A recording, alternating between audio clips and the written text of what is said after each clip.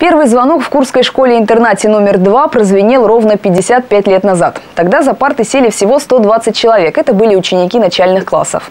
С годами их число росло. Появилось дошкольное отделение. А затем учебному заведению присвоили статус средней школы. Для тысяч ребят это был родной дом. Здесь им дарили не только знания, но и нечто большее. Любовь, заботу, душевное тепло.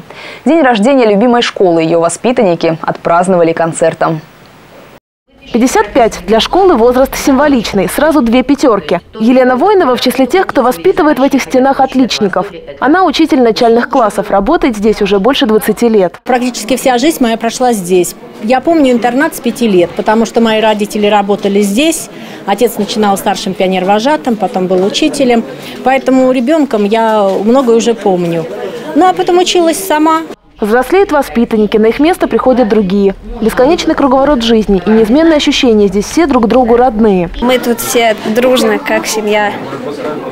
Ну, вообще хорошо. Есть те преподаватели, которых я знаю уже много лет, и я не знаю, я благодарен я, конечно, буду приезжать и навещать. Почти сотни учеников, таких не похожих друг на друга, усидчивых и непослушных, исполнительных и творческих. И каждому нужно помочь найти свою дорогу в жизни. У нас 41 э, ребенок из категории ребенок-сирота и ребенок, оставшийся без попечения родителей.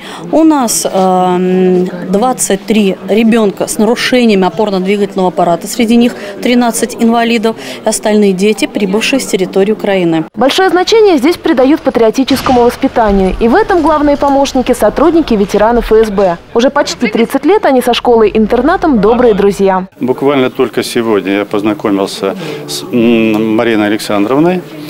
А, поэтому дружба только начинается. И для меня это очень важно, потому что сам в свое время я закончил школу-интернат в городе Благовещенске на Амуре. Скоро школе присвоят имя Геннадия Карманова, подполковника ФСБ. Еще при жизни он стал для ребят настоящим примером мужества и патриотизма. Это ко многому обязывает чтобы и в дальнейшем быть примером а, для школы и нам самим, и, и естественно, конечно же, и сотрудникам. А такая дружба не может не вдохновить ребят, повзрослев, стать своим старшим товарищем коллегами, пополнив ряды ФСБ и других силовых структур. Ангелина Рязанцева, Антон Ладышев, телеканал «Семь».